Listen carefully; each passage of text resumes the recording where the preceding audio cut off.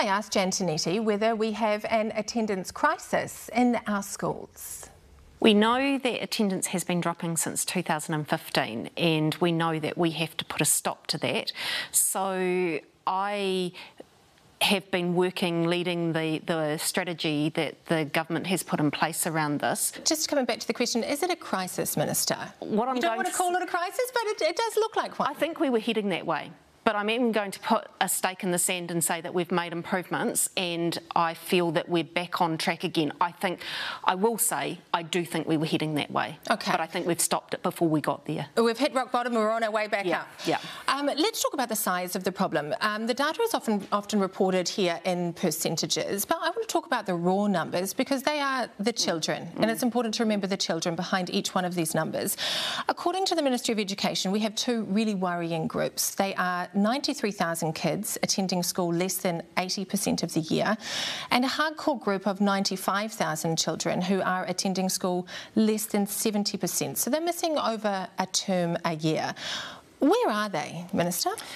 First of all, the numbers can be really misleading because the way that that is is being reported, there's a whole lot that sits under that. So when well, these are your own numbers. Yes, and, and that's why I just want to explain those numbers because when we talk it, it works out. So how much um, is it? So let's let's work that out. It is uh, three. Well, it will be actually. It's three weeks a term that they're missing. So that so is 12 be, weeks? Yeah, so it is over a term. So it's three weeks a term that they're missing. Now think about that when you're talking about chronic non-attenders and you had yeah. two members of your family that were isolating for COVID and so you isolated with them in those initial periods last year and you had one week of your own isolation. That's how you become a chronic non-attender. But now, Minister, you're on. talking about 12 weeks of schooling yeah. here and it sounds like you are defending No, no, no, I'm not. level of absence. I'm absolutely not defending it. What I'm saying is that, that the COVID years have actually exacerbated the issue of what we've seen.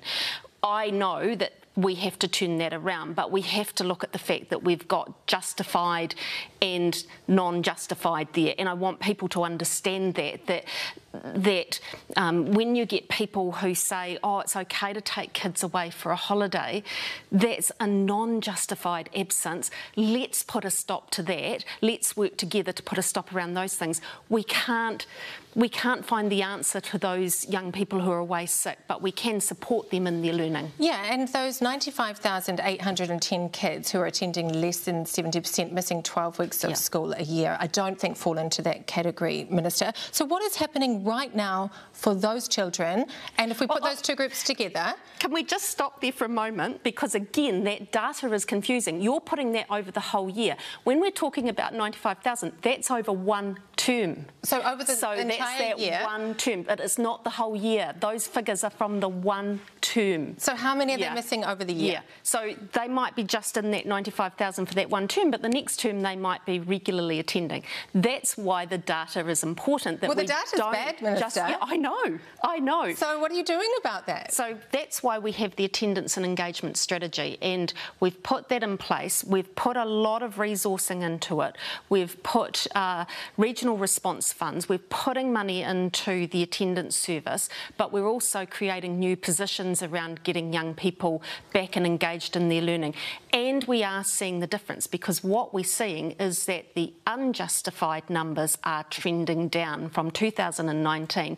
We're now seeing a lowering across all our measures in the unjustified attendance, and that gives me hope that we're starting to turn this big ship around. Okay, and I want to turn uh, talk about turning this big ship around because it is transformative yeah. work if you get it right.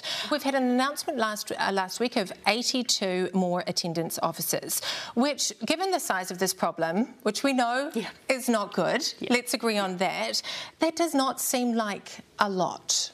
This job is working uh, with schools to work on the moderate not absences so that they don't fall into that chronic group. Got it. So what happens, so how many kids are they responsible for, these 82 officers working on the moderate group? How many kids are they responsible for in that category? So they won't be responsible directly for kids, although they might. Schools might want them to go into homes and, and work at those homes, but they'll be directly responsible to the schools for helping them develop their strategies and accessing the right resources to work with those kids. That sounds, Minister, to me like more bureaucracy. Don't we need boots on the ground here in those communities, getting to those families and those children? So many of those schools are telling me that they've got boots on the ground. Again, I was talking to a principal yesterday who was telling me about the initiatives that they've put in place, but this will help work with, the, the, with them to decide that those initiatives are working well or whether they are,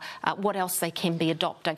But having said that, that's not to stop the fact that those people can't go out. They are attendance officers, and so they have the ability through legislation to be able to go out and work directly with the families that are needed. But this to me sounds like more of the same, Minister. This doesn't sound transformative. This is very transformative. So, look, I was a school principal. Prior to 2013, I used to be able to contact my attendance service and say, I've got this young person that I'm worried about. They're only turning up here, oh, they're turning up most weeks, but we're starting to see a bit of a fringe in their attendance. We can't quite get to the bottom of what's going on here. Could you do it? And the attendance service would be able to be proactive, go there. We could turn it around without uh, any hassle, really. Yeah. What happened in 2013? All gone. They could only work with those chronic absentees. Yeah, but now we've got tens of thousands of kids that need this help, and we've got 82 officers.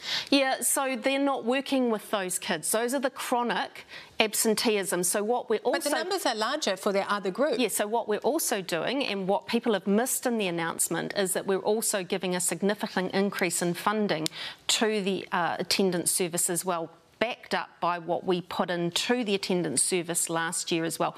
We absolutely know that the attendance service has to be responsive to those groups. They are not the only groups in society that are responsive to. We have community centres that have contracts that work in that area through other organisations. We have this. This is a community response. These issues are so complex that we're dealing with that we need a whole of community response here. It's not just on the attendance service, but we have brought that attendance service back closer to schools. In many places, we've got them working with the alternative education providers providers. Yes. And that is making a big difference. Minister, is the government too soft on this? Because in other countries, a student whose attendance falls below that 90%, uh, they are called chronically absent. That's unacceptable there, and there are mandated sort of processes that kick in at that time for that child and that family. Um, why not here? Well, we actually are doing the intervention, but it's a wraparound intervention. What we do know is that the non attendance can be as a result of many, many complex factors. So there's not going to be one solution that's going to make that difference. So we have to do that. We have the ability to be punitive if needed to be punitive, but actually international research and local research shows that that does not solve this issue. So we have to have a range of solutions. So what happens right now if I'm a kid and I'm not turning up to school um, or I'm turning up to school less than 70% of the time? What happens with me? So what would happen, let's go back to my school. What would happen with that kid that happened, came into my school and we knew that they were attending less than 70% of the time? First and foremost, we wouldn't get to that point. And first and foremost, most schools wouldn't get to that point they would be making contact with the school. In fact, this but Minister, week... plenty of kids are in exactly that position. Absolutely. So they will work really, really hard to make contact. And when they can't make contact, that's when they will make the referral through to the attendance service. And what does the attendance service do then? Do they so go the, and knock on those doors? The attendance service might go and knock on the doors. They might go and see if they can find out other information about those families. They might see if they've other places where those kids might hang out. They might go to those community centres that are out in the community to ask what they know about the young person. This is a wraparound. We do and know. What, what, happens when you get no response? When they get no response, that's when they, they ratchet up to another level. So we are putting in more funding in this latest announcement for a complete wraparound. So getting the health services in, getting the different parts, social workers, all of those different services that can make a wraparound response to that young person. So that happens right now?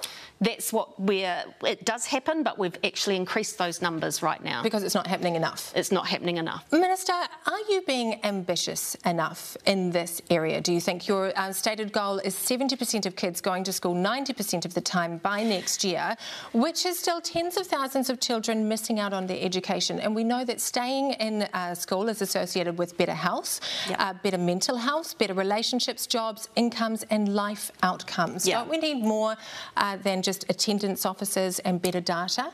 So the 70% of the time is over a term, and again, that's what it was before it started to slip. We're actually going to 75% is where we're heading to.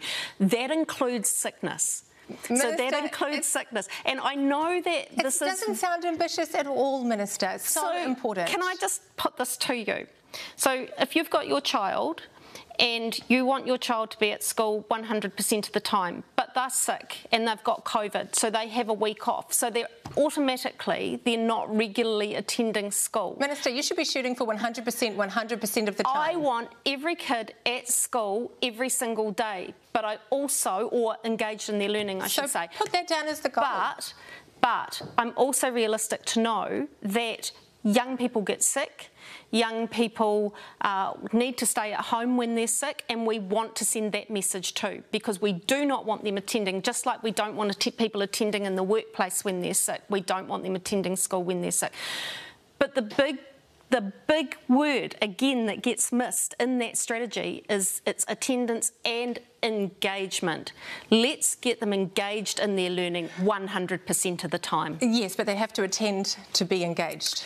Not necessarily. I do want them attending. I want them absolutely attending, but engagement is that big word, and I want them engaged 100% of the time. That means when they're at home, they are excited about learning. They want to get back to school. When they're sick, they want to be back there. That's the place where they want to be. It is a great place to be. We know we can do it. I know I did it on a micro level at my school. I know we can do it on a macro level across this country. Well, great, because I think the country is very tuned into the results of the work that you're doing. Thank you so much for joining us, Thank Minister you.